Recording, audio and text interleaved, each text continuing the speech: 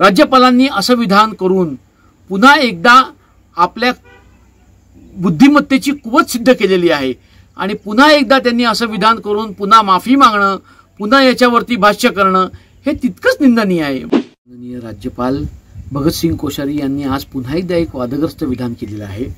परदेशामध्ये जे भारतीय स्थान भूषवत आहेत व त्यांना जो मान मिळत आहे तो केवळ आणि केवळ नरेंद्र मोदीजींमुळे मिळत आहे हे विधान त्यांनी करणं म्हणजे पुन्हा एकदा भारतीयांचा अपमान करणं असंच आहे. भगतसिंग कोश्यारी यांना जर का कल्पना असेल तर आम्ही त्यांना सांगू इच्छितो की आज परदेशामध्ये औद्योगिक असो राजकीय असो किंवा संस्थात्मक असो जे काय स्थान आपले भारतीय भूषवत आहेत ते त्यांच्या गुणवत्तेनुसार ते भूषवत आहेत. ते कोणा एका व्यक्तीमुळे भूषवत नाही आहेत आणि ते आजच नाही तर गेल्या पन्नास वर्षांपासून ते ते भूषवत आहेत.